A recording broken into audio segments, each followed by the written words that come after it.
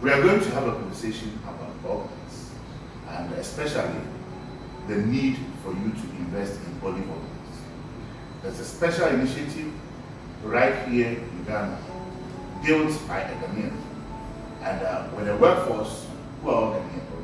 So I encourage you to follow this conversation and also try to get one for your church or your private homes.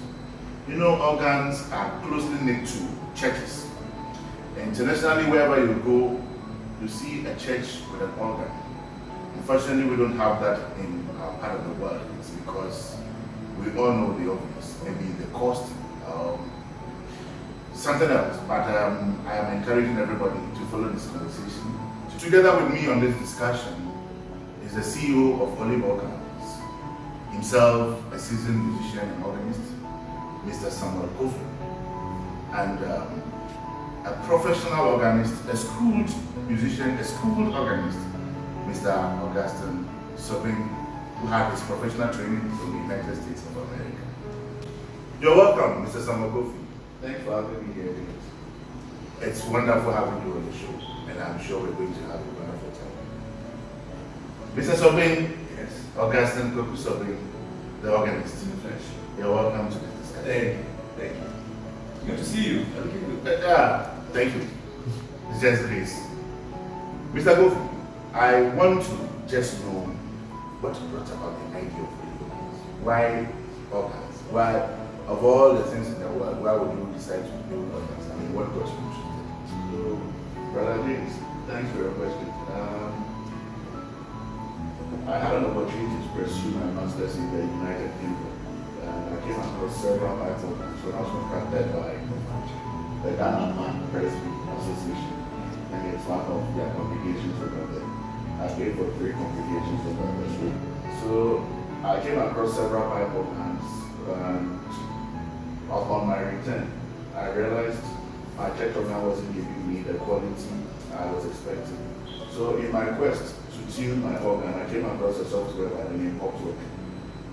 Let me cut you. I want to ask. You mentioned that you were playing for three churches in the UK.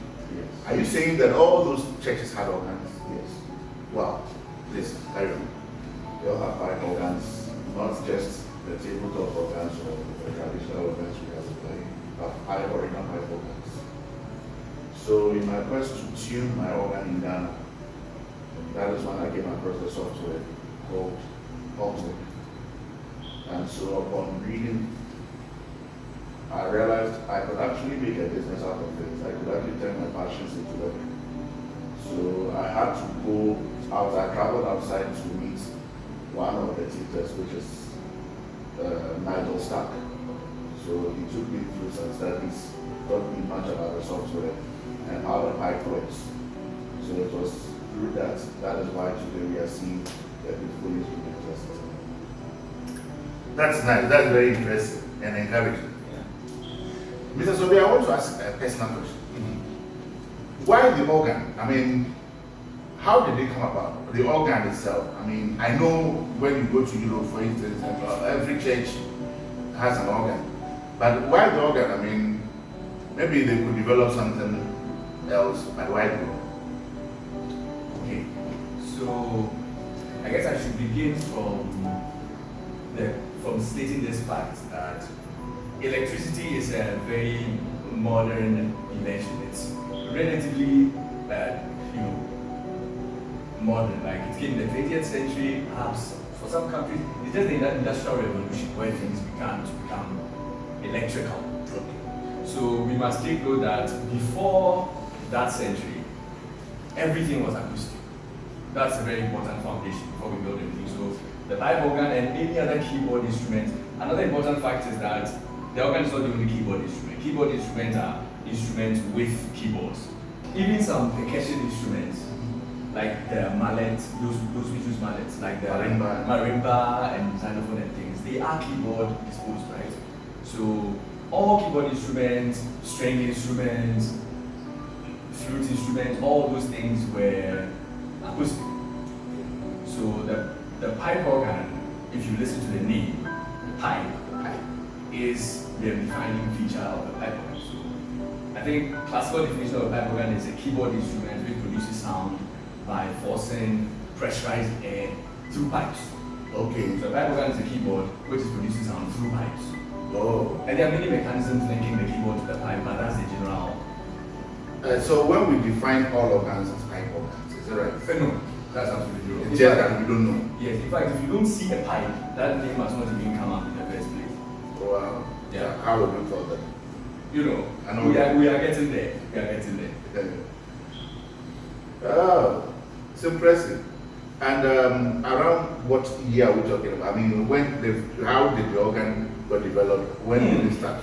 Yeah, there are many theories around this, but early organs were mm, the early when you go back far enough, you find organs which were based on water pressurizing. As for the system, it has always been the same. Something will pressure the air, but it is in recent organs that we use elec electricity to pump, like to pump the, the air. Before they used water, so they were water organs, right? Wow. And then we had some wind organs that, if you remember, you would actually force the mechanism directly with your with your foot. Yeah, they made some of those organs, The harmonium. the harmonium and stuff like that. Yeah. So even the mouth We, we had one in my home church. Yes. Uh, uh, in fact, until recently, we're still there. Yeah.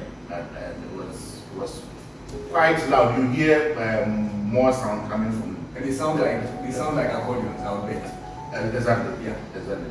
Yeah, so if you think about the accordion, it's like, it actually gives you a, a complete picture of how the principle is working. You pressurize the air, and then perhaps you play the notes. Some accordions have keyboards with it. Okay, nice. Mr. Sobri, my second question to you is that why is the organ so linked to church? Why we even refer to it as church organ? Why do we call it church organ? Yes. Is it that the church developed it or it, it developed somewhere and the church adapted?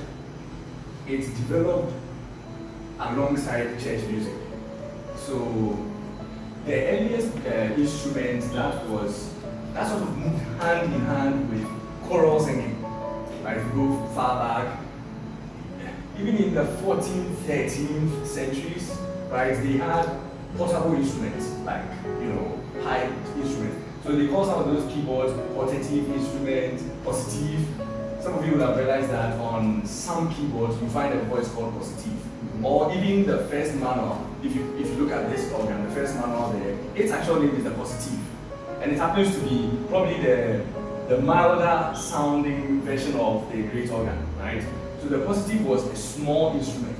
It's called a portative. That was used to accompany, and it was just one manual. That's where it started from. It went through the pipe, it was a very small instrument, but it was used in the church. Even the development of the pipe organ, yeah, including its expansion, is linked to the church. For example, you know of antiphony. Yes. Yes, it was actually a principle that was used in the early cathedrals, like St. Denis. They had choirs which were put in antiphonal, like this choir will sing, this choir will respond, because of the size of the church, right? So they had one choir supplying the back gallery and another choir supplying in the middle, and they arranged music that would make them sort of antiphonal. Yes, and so they built the organs like that. So they provided an antiphonal division which sounded like, like from the back of the building. Wonderful. Yeah. So it's directly linked with church organ, everything about it. That's a wonderful uh, historical background to the, the use of the organ. It's fantastic. So why don't we have the organs in our churches these days to complement um, the singing of the congregation and? Mr. Kofi, do you think we are missing something? The, beautiful music or whatever we should hear in the church because we don't have organs. Thank you, Brother James. Um, the church organ is also known by others as the king of instruments, and some school of thought also claim it's the voice of God. Why is it so? Because if we go into the Bible, you find earlier when we said we mentioned the choirs were placed in antiphonals, antiphonies or I don't know. So a replica of that is what we are also doing here. So we place the speakers in antiphon, antiphonals for it to represent whatever it is we are mimicking in heaven. And again, even we have this particular song, and I heard their voice from heaven as a many, a voice of many What waters? whatever. You get to where God speaks in a timbrous voice. And for you to express that, you have something called a crescendo. So you step on that and it gives you the effect of like, like a timbrous voice. It sounds like God is talking to you. And deep down, you feel it in your heart, like you feel the vibrations. So for me, I think the churches are not bringing out the music properly because in terms of dynamics where you have to swell, you have to crescendo or decrescend, this has the ability to do that. For the tabletops, it limits you a lot. It limits you a lot. And I think these things have to do with the, the seriousness of the music enterprise in the church. For example, I mean, if I am concerned about something enough, then it gets to the point that I begin to think about the details. Like, okay, so the class sound, it's so heartwarming, but the sound of the organ is not really working with. I mean, does the pastor ever get to the point where he thinks about all that the choir is producing, or they're just he's just okay with the fact that the choir sang an anthem today, right? Is there anything you can do to make their output better? If that if that happens, then we automatically get to the point where we realize what we need is the organ. Mm. So, know, Sometimes don't even sing anthems on regular basis. So I think supposing a choir did an anthem like "I was glad," there would be no way to play it without having an organ. yeah, there would not be a proper way Yeah. of uh, having that music. Yes. But we are doing it in the churches. We, we, we are using synthesizers. So, Mr. Sobe, this brings me to my next question. What is the advantage of this machine, the organ, over the synthesizer? Synthesizer, I mean the keyboard, small keyboard instrument that we use. So, I just want to know what are some of the things that this can give as that the synthesizer can never, or it's just mimicking? Right. Right. That's a good question. Can I use this? So I, I need to show a few things here. Since it's here, then everything can be as practical as possible. There are a few things I need to show here. In demonstration of the things that are here that you are definitely not going to find on the. There will be more than what I will say. I'm just going to give the, the most prominent features that the organ has.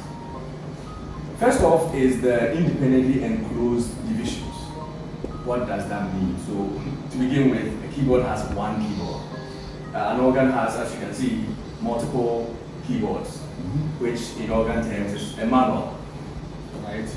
So, in this case, four manual. Four manual, this is a four manual organ, right? You often find a three manual organ in the country. So this is also one of a few organs that have four manuals. And then there's the pedal board. Physically, this is very different. But how about in utility? Right? When I say they are independently enclosed, that means this manual can function separately from this manual, independently from this. All four can function separately, and the pedal board as well. And they all have the, the, the stop setup, like that's the sound, how you break the sound, right? This is taking care of that, this and that. Those are the stop sections. So that's how you control the sound, and that's how you play it. So I can set this differently from this, and set this one differently from that and that, and you can control them differently by using these expression pedals that you see down here. Do you see that? Yes. So that's first of all a big uh, advantage of this over the synthesizer. The synthesizer gives you the opportunity to control overall volume. And perhaps if you split it up, like if you split the, the voices, then you get to control like the layers. That's the maximum you can do, but the setup will be the same. Whereas here, you even have divisionals by which you can control the sound on this, change the sound on this, and nothing else has changed. So I'll just play something to show you. I've set this up already to have a different voice here, then here, then here, and then here. And so I'll use to play something pretty English sounding, but not really written by an English person.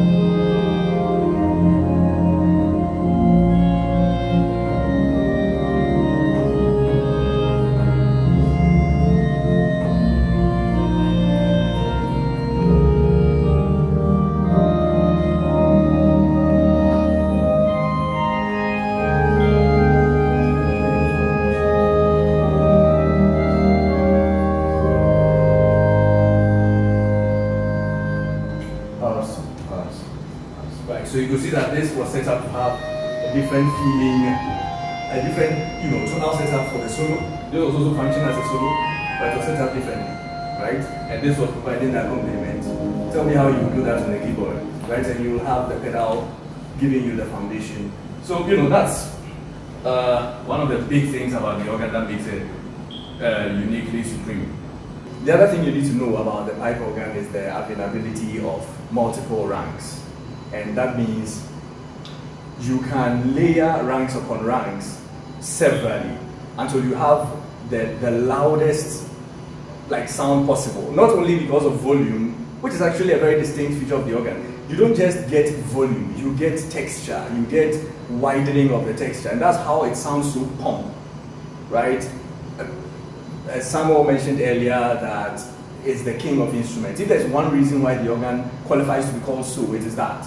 It's able to produce uh, just an enormous volume of sound, not just by volume alone, but by inclusion of sounds.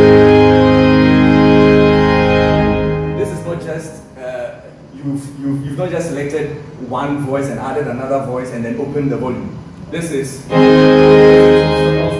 try to go from the beginning, you see.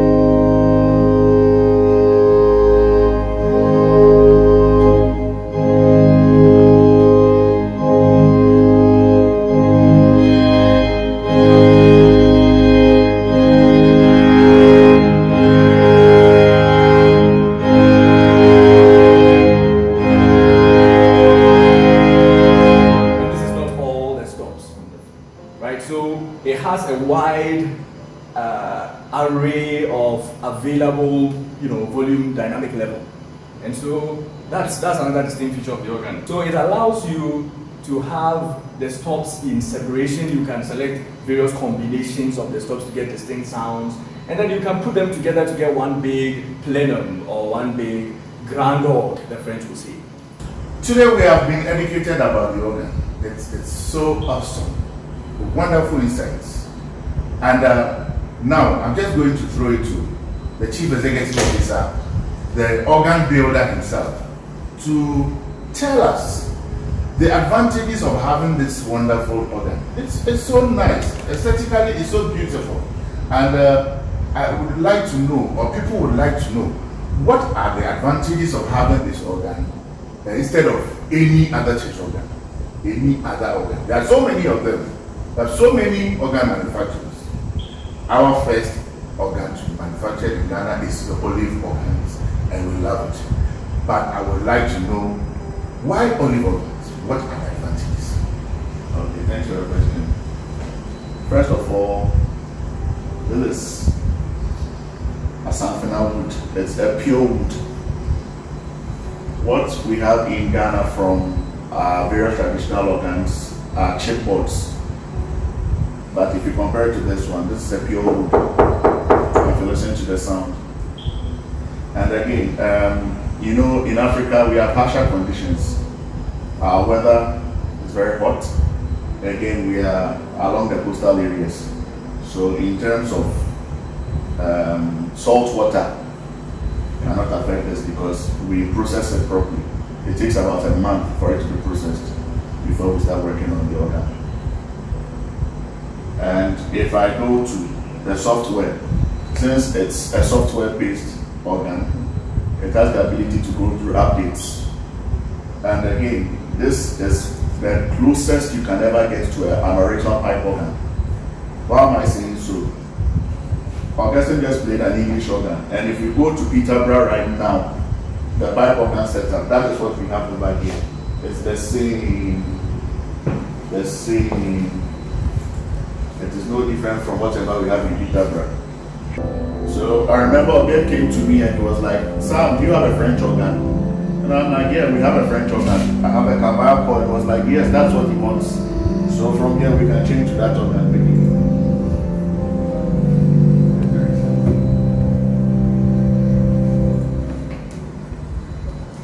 So this is what organ? We are going to a French organ. A French organ? Yes. On the same machine? On the same machine. So you can just swap it? Swap it, yes. So when, when we say French organ, really we are, we are trying to say that the organ developed that way in that geographic location. So unlike many other instruments, this organs sort of relate with their geographic location. Germans have a way they construct their organs. Uh, Netherlands had a way, especially in Europe, because that's where organ building was centered. So what I want to understand is that this organ, this olive organ, can actually change So many instruments, you can have so many pipe organs on one console. Wow. So I don't need to just get an organ who, who, which will give me French organ. No. But rather this can give me the French, the English. Yes. Wow. So in fact, you are not limited to one console. One style. Uh-huh. Oh, that's impressive. Yeah. You get to have handy what some famous So organists. this one is the they- Cavaillé-Coll, a famous French organ builder. So the sound has been sampled and exactly the same sound as you are hearing. Go to the Cavaillé-Coll, if you get closer to any Cavaillé-Coll instrument, it's exactly the same sound.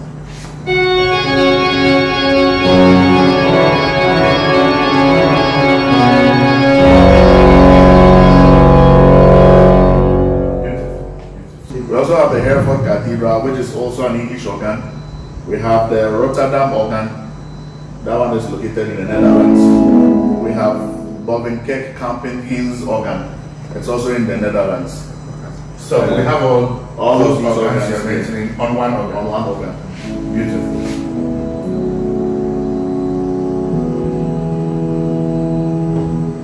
So this is a French organ. Um, so just as I said, you are not limited. You have various options, a wide range, and in the comfort of your home, you have access to so many pipe organs throughout the world. That's the advantage this one gives you. And it also has the ability to record. You can record, have the wave file, you play it in your car. So instead of going to a studio to go and uh, schedule yourself for a, ti- a time to come and record, just record everything over here. Take it on your pen drive.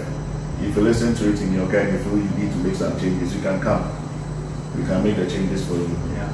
And, and why is this advantageous for a church organist? I mean, a church organist is not really thinking about having the several uh, organs for just church, right? You get to sample between them or, or, or like oscillate between one organ and the next based on your church's design or how the sound works in your church, right? It is, there are some uh, organs here that are better suited to some type of music than some others. Like English organs will work very well for general church settings, and you will find other organs that will work well for some specific anthem you may want to do on a, on a certain day. Right? The, the possibilities are endless. You need to have a feel of what this is going to do for you, and you will not get it until you get an olive organ. That's for sure. And uh, please speak to us about uh, specification. If I come and say I don't want the organ this way, I want it this way, are you going to build to my specification? Can you do that for me? Yes, most definitely. Uh, it's customizable. Um, we do it to your satisfaction. Wow. Someone is actually requesting for a black organ. And yeah, it's in a pipeline, we are doing it for him. Wow. So you can you can uh, you can change colors. Yeah, someone actually also wants a white organ. Wow.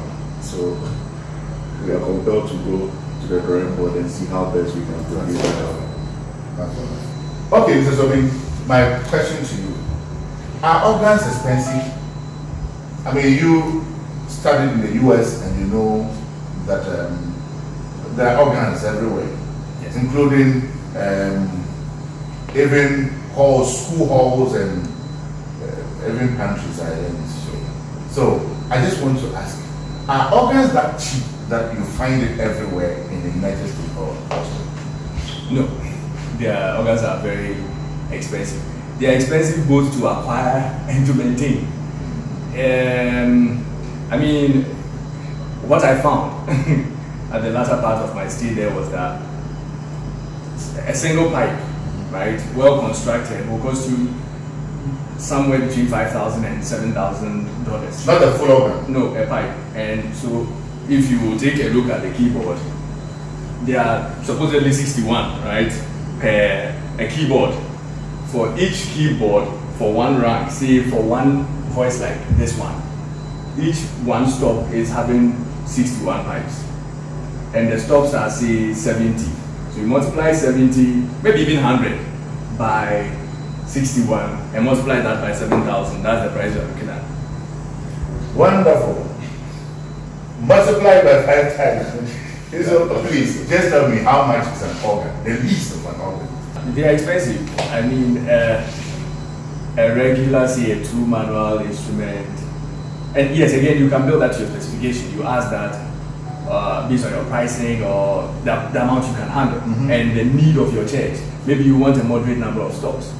Then yeah, you could get something well built, maybe a quarter to a half a million dollars. Wow. That's serious. Yeah. Um, the Ghanaian mentality, I would have asked uh, how, how many cement would I get from Yes. But, Mr. Kofi, so how cheap or how expensive is this olive organ? Okay, for olive organs, if you have between fifteen thousand dollars to thirty thousand dollars, you either get a two manual, three manual, or a four manual. Wow. 15,000 US Yes. to 30,000 US dollars. I could own One of these organs. with all the advantages. Yes. Because Oga mentioned the fact that it's expensive to maintain an organ. Um, not this organ. This is not expensive to maintain because this is technology based Yes. and you can always upgrade. With all these advantages, it's cheaper than the organs you know. Yes. That's Yeah, and maintaining can be a pain. I mean, you have to blow the pipes as frequently as possible. And then there's the thing about tuning it, right? I mean, pipes change their tuning based on temperature. So when the temperature goes down, then it's going to become flat. The notes are going to play flat.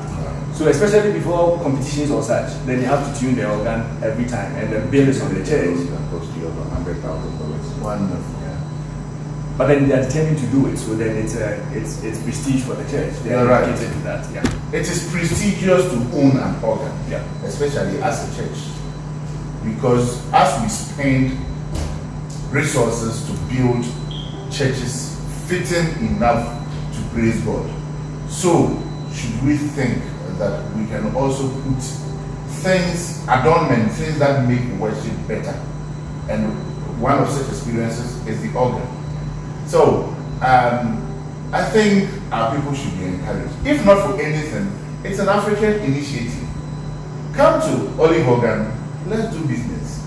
And you will end up fitting a wonderful organ in your church, in your home. You can have a home organ, a church organ for as low as 15,000 US dollars to a maximum of 30,000 US dollars. What are we waiting for? Brethren, it's been a wonderful time together. It's been a wonderful time going through Yes. a wonderful machine organ, specifically the olive organ. Yeah. And uh, I believe people are watching, people are listening, people will follow up. Wow! It's been a wonderful time with my brethren. And uh, uh, I think every information you need, or whatever you need to learn about the organ, has been given. Please, let's support an African initiative, the Olive Organs. We are here for you. Just call the numbers showing on your screen. We, our email address, everything is showing on the screen. Rush, come and let's do business. I am certain you will never regret owning an olive organ. So, just call the numbers showing on your screen. I am certain, I am sure that you will never regret. Let's do business and support an African initiative. Thank you.